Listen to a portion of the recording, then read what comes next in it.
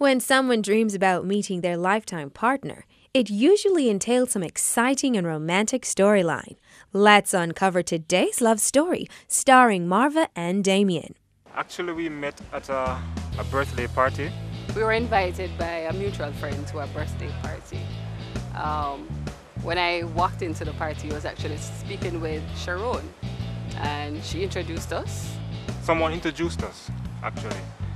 Um, it was about 10.30 that night on February 11th. We got to talking, um, introducing ourselves and then exchange numbers. At the end of the, the party, he asked, um, when can we see each other next? So what was Damian thinking when he stumbled upon this lady? Um, honestly, I don't know what exactly drew me to her then, but I just knew that I was intrigued by her. Um, because we spoke for like, we said hi, how you doing, whatever, where you work, and it wasn't anything long or anything elaborate, but it was just, I can't pinpoint it, but it was just something that intrigued me about her. Was Marva bitten by the love bug the moment they met, or did it take some work for a relationship to blossom? I wouldn't say love, but it was definite. There was definitely an attraction. Um, I looked at him and I was like. And I guess he was probably thinking the same thing as well. Um, so we actually met up the following Sunday at church. And then from there we started meeting up concerts, Bible studies. From there we actually started getting close. But how would things go when Damian realized the age difference between himself and the lady that was catching his attention? There's this radio um, personality who says that age is just, is, just, is just a number. And as I said, initially when I met Marva, I never knew that she was that far off from my age. I thought she was actually within my age group. And um, honestly, also that, that, was, that was one of the things that um, affected how we progressed in our relationship. Um, however, we, we, came to the agreement that you know it's just a number. Um, we care about each other, and we believe that God calls us to be together in spite of the numbers between our age. And I would say that we have dealt with it very well. Uh, Marva is now 43 and I'm 32. And so, with that out the way, the next step was to pursue her. How did things transition from merely an attraction to an actual relationship? Well, for me, I recognize that as a Christian, I never prayed seriously about going into a relationship. You meet somebody, they're a Christian, and you say, okay, then that is fine. Go ahead and date the person.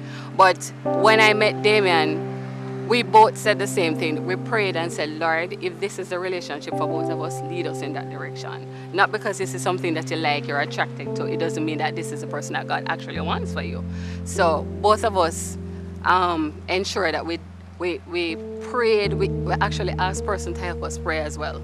So when we decided, when we made, it was actually the day before I left Jamaica to go to Mexico, we made a decision to actually be boyfriends and girlfriend. And we asked persons to help us pray along this line to, to help seal the decision. Honestly, I never saw Marv and I coming together. And actually, when, when we met at the party, I wasn't supposed to be there.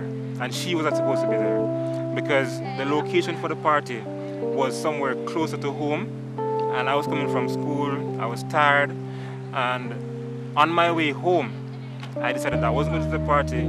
I called a friend, asked him if he was going, he told me yes, asked him for a ride. And um, I got the ride to the party and stuff. And when I, when I got there, as I said, I was just intrigued by her.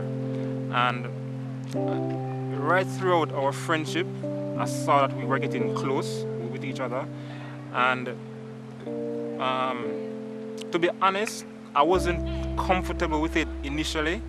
And then I realized that um, through fasting and prayer and a lot of encouragement and, and stuff, I realized that it was God's will eventually, you know. So Damian and Marva were growing in love. But how long did it take them to decide that they wanted to spend their lives together? We went to a Chinese restaurant on South Avenue. I'm not remembering the name. And we were there talking and stuff. And um, while we were there, he got into this very deep conversation about how we have been going on and how he really actually come to love me as um, a wife material. And I'm thinking, hmm, this conversation sounds like it's leading to something. Even though we had discussed marriage, but we didn't decide on a timeline and stuff. So it was actually there, right there at dinner. Um, the guy came to serve and then he pulled the box out, gave him a camera and did this thing. I just popped the question, went on one knee and all of that. Yeah. Pretty intimate, not with much persons around. So when it happened, in myself I was quite comfortable because I knew that this was where I wanted to go. This was the man I wanted to spend the rest of my life with because he is a warm, caring, I mean, he looks he looks out for me in a way that's just different. It didn't take long for this couple to decide that it would be forever or nothing, and it won't take you long to find out more about them. More coming up after the break.